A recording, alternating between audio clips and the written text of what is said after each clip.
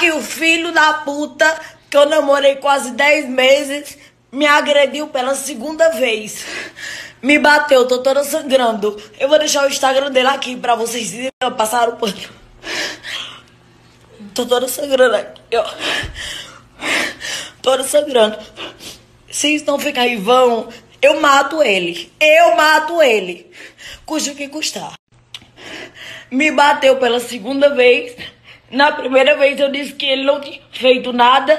Deu tapa em minha cara. E eu passei pra ele. Da segunda ele me agrediu. Tá aqui, ó, sangue em todo lado. Eu quero ver se vai ficar impune essa porra. Porque se ficar impune, quem vai agredir com a justiça sou eu. Porque a justiça é uma bosta. Essa justiça é uma merda. Da primeira vez ele me bateu na casa minha. Em frente à casa da minha mãe. Da minha avó. Da segunda ele me bateu. Porque eu tava dormindo.